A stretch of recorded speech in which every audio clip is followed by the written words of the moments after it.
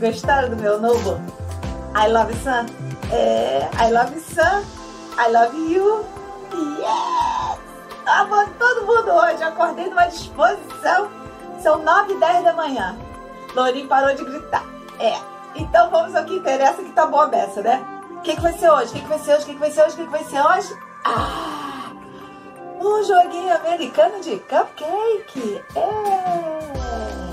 Vou fazer esse pequenininho porque me pediram um tapete de cupcake. Então, para eu fazer um tapetão, primeiro eu fiz um pequenininho. Esse pequenininho aqui vai ser o protótipo para eu fazer um tapetão de cupcake. Você quer aprender a fazer esse aqui, que vai ser um joguinho americano? Hein? Olha minha cerejinha. Minha cerejinha é um botãozinho. É. Então, você quer aprender? Quer, quer, quer, quer? Bom dia para quem é do dia, boa tarde para quem é da tarde, muito boa noite para quem é da noite.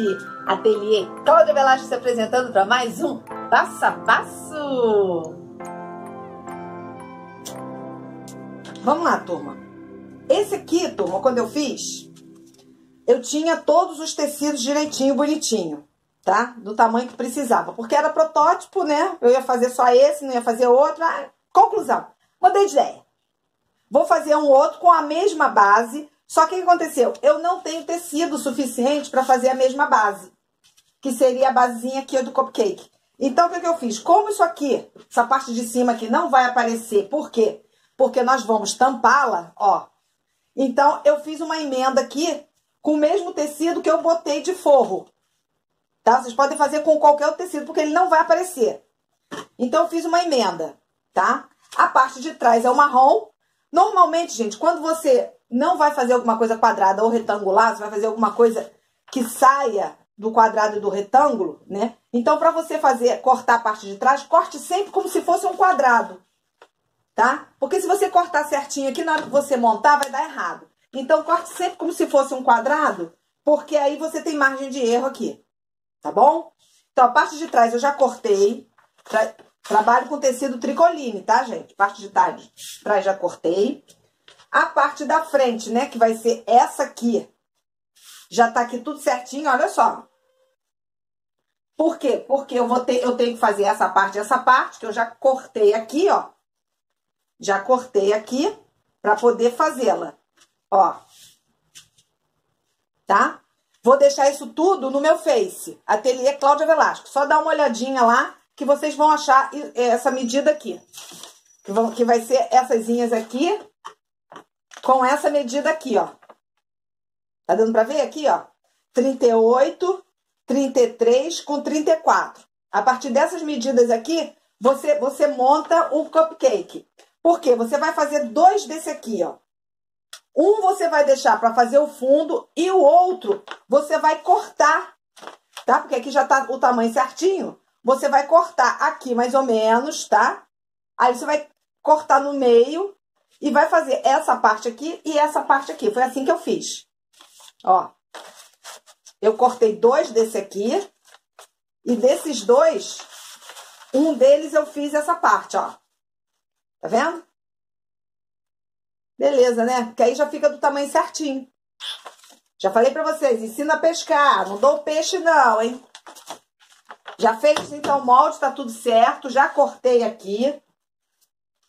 Ó. O que que eu vou fazer aqui? Vou desenhar o meu cupcake aqui pra eu saber qual é o meu limite.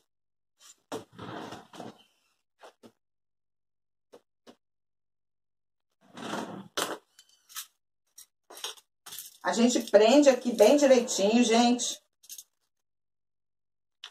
Ó.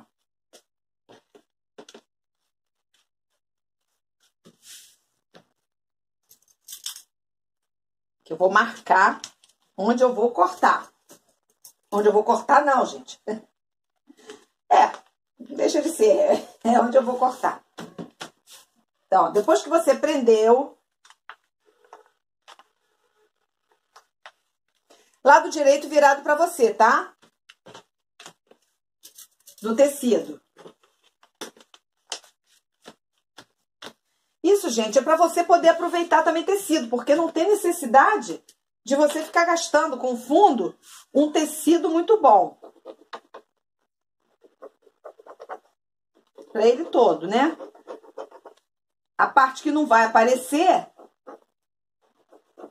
você pode improvisar.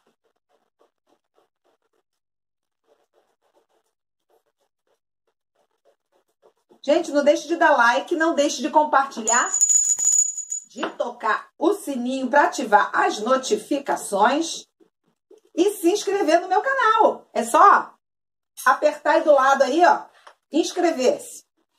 Se você compartilhar, seu nome aparece para mim. Se você não compartilhar, só aparece que fez uma, uma inscrição.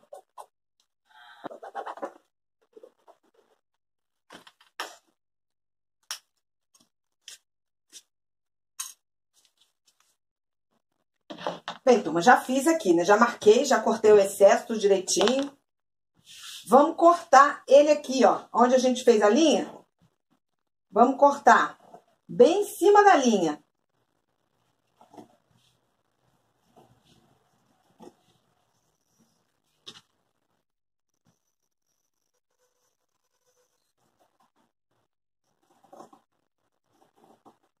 Turma, não deixe de compartilhar, não deixe de se inscrever e não deixe de dar o seu like. Ó, toca o sininho para ativar as notificações e você receber tudo o que eu posto. Certo?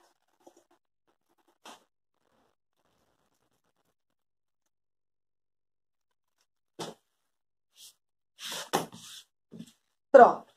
Cortou aqui, gente. Pega a manta. A manta tem que ser maior, tá, gente? Ó. Lado poroso virado para você. Direito do tecido virado para você. Agora, nós vamos fixar essa manta aqui. Ferro quente. Nós vamos colar essa manta aqui. Ó, não é passar, gente. Se passar, não solta a cola. Tem que deixar o ferro para ele soltar a cola que está na manta. Isso. Agora, gente, como eu já fiz, ó, trabalhei aqui com papel termocolante. Tô improvisando tudo hoje, porque acabou meu material. Então, para você não parar de trabalhar, você tem que inventar. Como eu ainda tinha um pedacinho do papel termocolante, eu fiz esse aqui. Esse aqui eu não tinha, mas papel termocolante para colocar aqui. Então, o que, que eu vou fazer? Eu vou fixar esse com cola. Cola pano. E esse aqui com papel termocolante. Como eu já tenho aqui, ó, a delimitação aqui, eu já sei que esse aqui vai aqui, ó. Tá? Ó. E esse aqui vem aqui embaixo. Ó. Esse aqui aqui e esse aqui aqui, ó. Espetáculo espetáculo, né, gente? Oh, Deus! O inverso desse aqui, ó. Mas ficou um conjuntinho, tá vendo? Só inverti as duas partes aqui de cima. Então, vamos colocar essa parte aqui.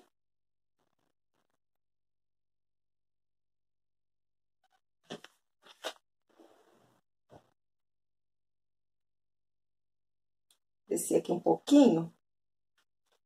Para ficar mais ou menos esse cantinho aqui, igual esse aqui.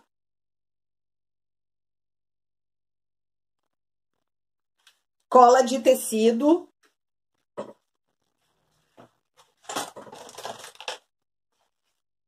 Cola pano, ó, gente. Tamanho que vai ficar aqui em cima, gente, tanto faz, tá? Isso aqui não vai aparecer, porque a gente tampa aqui, ó. Então, não tem grandes problemas.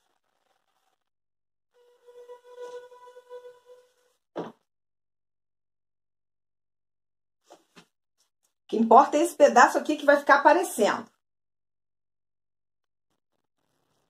Então, vai ficar bem preso. Aqui, gente, eu fiz, ó, o kill de caminho de bêbado. Tá vendo? Ó.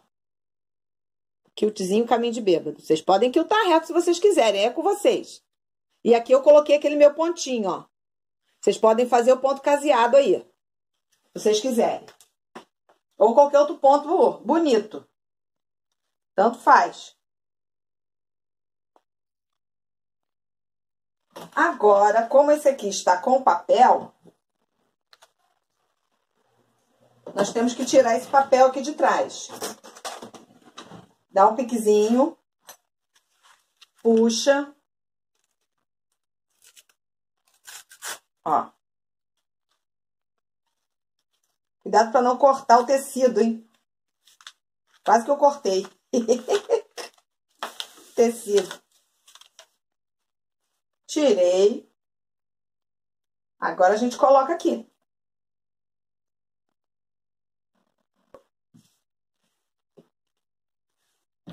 Tá prontinho aqui. Vamos passar esse pontinho aqui em cima e esse aqui embaixo. E fazer aqui o kilt caminho de bêbado aqui. Para depois colocarmos o forro. Então, vou fazer isso e já volto. Quem tiver esse pontinho de zigue-zague aqui, quiser aprender a fazer esse pontinho, eu tenho vídeos aí ensinando a fazer esse pontinho. Como é que eu faço esse pontinho? Na, na, nos meus cards aí, dá uma olhadinha que vocês vão ver. Caminho de bêbado, gente, não dá pra eu ensinar não, porque eu não tenho prática suficiente pra ensinar pra vocês, não. Mas vocês podem fazer o quilt reto, sem problema nenhum. Faz aqui, ó, o quilt reto e faz aqui. Ou se vocês quiserem, não precisa, porque só esse ponto aqui já vai segurar a manta. Não precisa fazer se vocês não quiserem. Não tem problema nenhum. Vai ficar assim, ó. Mas não tem problema. Tá bom? Então, vamos lá.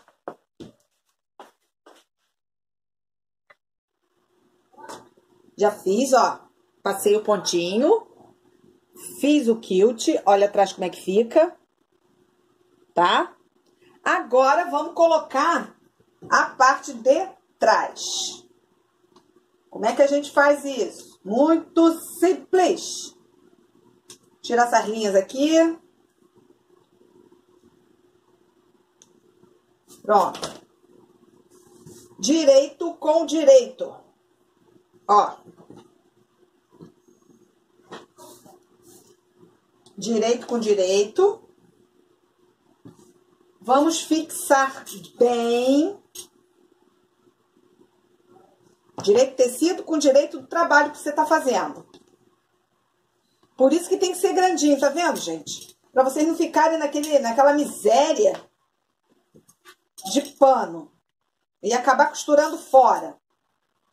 Com o pano sempre passadinho, sempre esticadinho. Para também o trabalho não enrugar. Tá? Coloca bastante alfinete. Para o tecido não escorregar. E assim facilitar o seu trabalho. Fica na economia não, hein, gente? Bom? Agora, o que, que nós vamos fazer? Com a distância de um pezinho de máquina, nós vamos passar aqui, ó a costura aqui, ó, em volta dele todinho. Vamos deixar a abertura daqui aqui. Então, você começa aqui, vem fazendo com um pezinho de máquina e para aqui. Porque depois nós vamos desvirar isso. Ok? Vou fazer e já volto. Pronto. Agora, o que, que a gente faz? Ó, dá um corte aqui, um corte aqui, que é onde a gente vai terminar de cortar. E vamos refilar aqui, ó cortando rentinho aqui junto com o seu trabalho, ó. Tá vendo, gente? Porque se o tecido tivesse rente aqui, poderia escapulir na hora que você vai vai costurar. Assim, não corre o risco do tecido escorregar. Você gasta mais? Gasta. Mas seu trabalho acelera mais e fica um trabalho limpo. Vocês sabem que porcaria não é o meu lema, né? Fica um trabalho limpo e bonito. Pronto. Cortei. Tá aqui mais um pedacinho aqui. Pronto, para poder dobrar aqui direitinho. Tudo que é redondo, gente, precisa levar uns picotinhos aqui. Para quê? Para que na hora que a gente desvire, ele não fique repuxando, tá? Então, o que, que nós vamos fazer aqui? Dar uns picote sem pegar na linha, hein? Em tudo que for redondo. Parte reta não precisa. Ó, tudo que for redondo, você faz esses picotezinhos aqui. Aqui embaixo não precisa. Ó.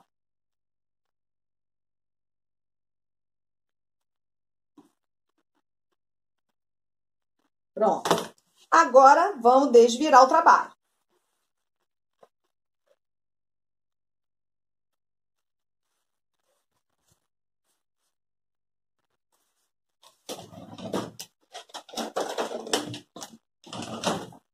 Turma, nunca enfie tesoura para desvirar não, tá? Compra esses pauzinhos aqui, ó. Vende em, em casa de fechadura, essas casas assim, de material. Que esses pauzinhos aqui é aqueles de botar imóvel. Aí vocês podem desvirar sem furar o trabalho de vocês. Que a tesoura normalmente ele fura. Pronto. Feito isso, gente, vocês vão fechar aqui embaixo, dobrando, né? Vamos bater o ferro para ficar direitinho, igual que ficou esse aqui, ó. Desvirando aqui. E bater o ferro aqui. Depois que você bater o ferro aqui direitinho, ficar tudo bonitinho, você vai passar uma costurinha, ó. Aqui, ó. Tem uma costurinha aqui, ó. Você vai passar uma costurinha que é para segurar tudo direitinho. Então vou fazer isso e já volto para mostrar como é que ficou o trabalho para vocês. Ah, ai. Curioso? Curioso? Ah, terminei, terminei, terminei.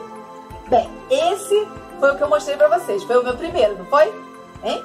Então, esse foi o segundo. Olha que chavinho um com caldinha de morango e um com caldinha de chocolate.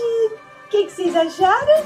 Olha, os botõezinhos. Vocês podem botar aqui, gente, o que vocês quiserem. Podem fazer uma florzinha, qualquer coisa, tá? Eu, como tinha esses botõezinhos, eu coloquei esses botõezinhos aqui. Ficou um charme, não ficou? Diz que ficou.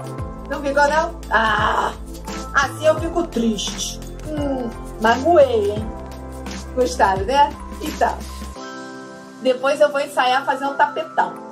Aí eu ensino pra vocês como é que faz o tapetão. Mas a técnica acredito que vai ser a mesma, só vai dar mais trabalho porque é mais tecido.